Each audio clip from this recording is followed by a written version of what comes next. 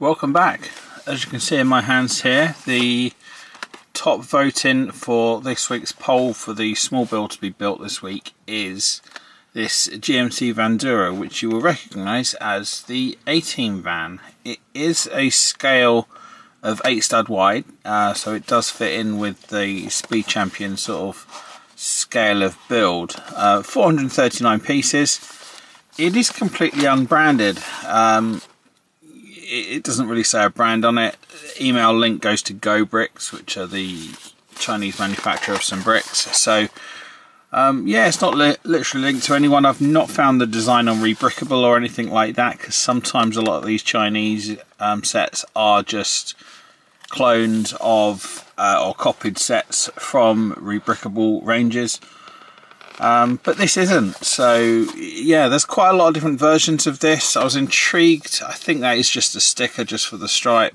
But some of them, they look just look too jaggedy where they're arranged with bricks on the sides. But yeah, this didn't look too bad. So I thought I'd I'd give this a go. Only arrived this week, so yeah, it's, it's quite new to me.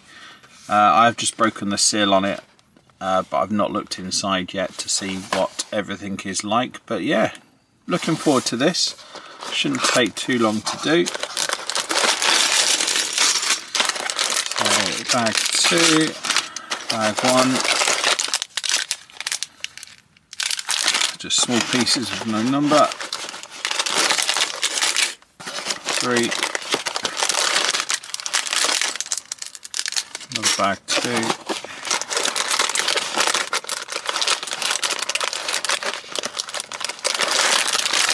Surprised on how much in here. Another bag three. Another bag four. Another bag four. And the instructions and yeah, those are the stripes. Each of the stickers. So again, there's no no real branding. Official sort of A-Team logo, which looks good. Um, didn't realise had an interior to it as well, which is quite neat.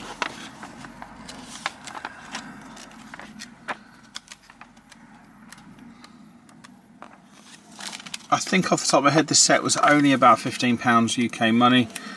Um, so not very expensive. Um, and didn't take too long to arrive. I think it was like a little over a week to arrive to the UK. So yeah, very impressive so far. Right, let's clear the table and get this built. See you soon.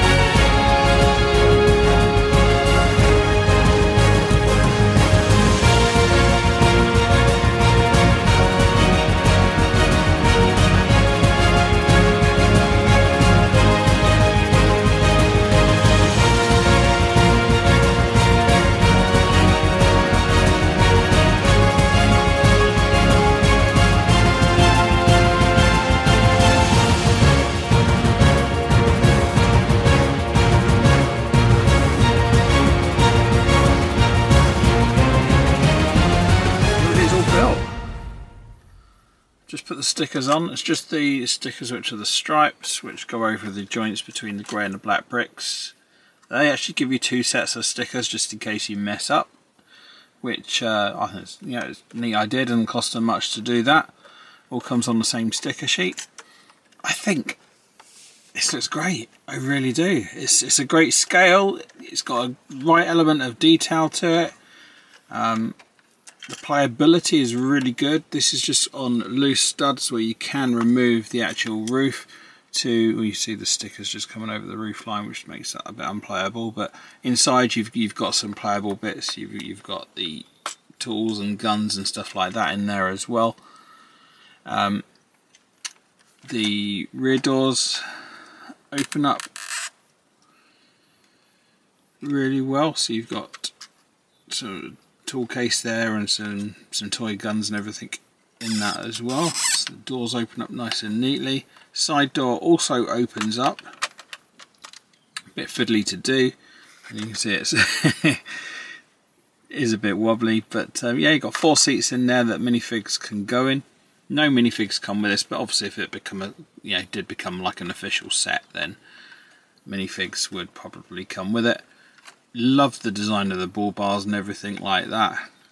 Um, works really well. The only yeah, I'd say this should be flat rather than raised up just to look more like a window there I guess. But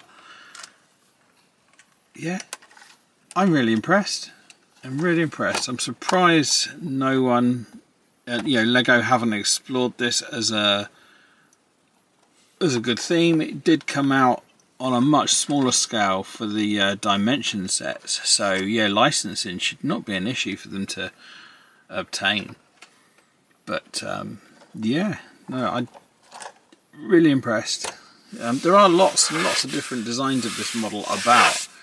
Um, so I've been looking for quite a while to find one I really liked, and, and this did look good on paper. Some of them, I think the sticker is the way to go in this case. I know you know I hate stickers, but it's an awkward this this red stripe along the side of the van. It's difficult to replicate in brick, and you can see in some designs on Rebrickable that people have attempted. It, it just it doesn't look right in my eyes trying to do that in a slanted brick.